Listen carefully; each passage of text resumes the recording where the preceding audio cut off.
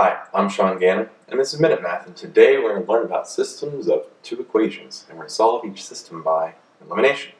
So, if I was given this system, 8x minus 6y equals a negative 20, and negative 16x plus 7y equals 30.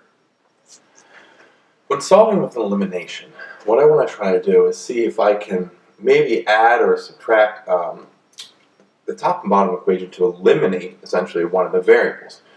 And so I'm kind of looking for opposites in a sense here. And I see 8x and negative 16x. And I, see, I know that if I multiply 8x by 2, I'd get a positive 16x. And I could add that to negative 16x, and that becomes 0. That's the ultimate goal there. So what I'm going to do is I'm going to take this first top equation and I'm going to multiply the whole thing by 2.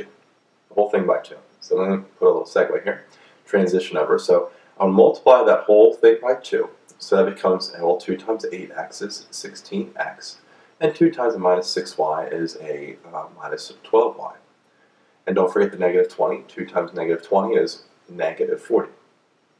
If I did this right, I should just be able to transfer the second equation, negative 16x plus 7y equals 30. Now what I'm going to do is I'm going to add them. Add these two equations straight up and down, okay?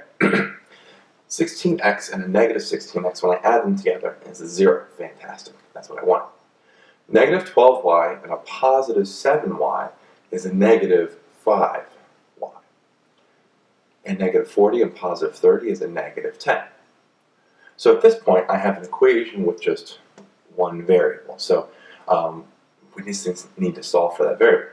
0, don't really care about it, it's gone. I'm going to divide both sides by negative 5. This gets me y by itself. Negative 10 divided by negative 5 is a positive 2. So we have y to be a positive 2. So now what we're going to do is plug that back into one of my equations and simplify. I'm going to pick the first one again. The first one. So I'm going to take that 8x. Alright, without the multiply by 2. So the 8x minus 6y equals negative 20. And I'm going to take this y being 2 and plug it in.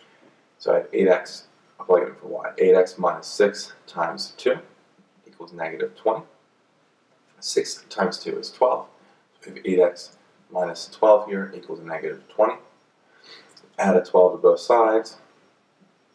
We have 8x equals negative 20 plus 12, which is a negative 8.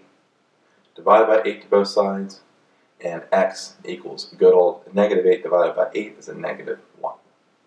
So we have our x and y value. We can combine them together to be a coordinate point, which is negative 1, comma 2. And there we have it. Final answer. So let's recap. We're given our two equations, 8x minus 6y equals negative 20, and negative 6x plus 7y equals 30. And what I want to do is solve this by elimination. Well, I multiply the top equation by 2 of the whole thing, which gave me 16x minus 12y equals a negative 40.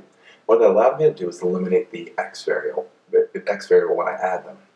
When I add them, that happened. Then negative 12y and 7y became negative 5y, and negative, uh, negative 40 and 30 become negative 10. I then divide it by negative 5 to both sides, giving me y by itself, and it's equal to a positive 2. I plugged that y equals 2 into the first equation and simplified and eventually got x to be a negative 1. I have my x value and my y value together. They come together to have a coordinate point, which is negative 1 comma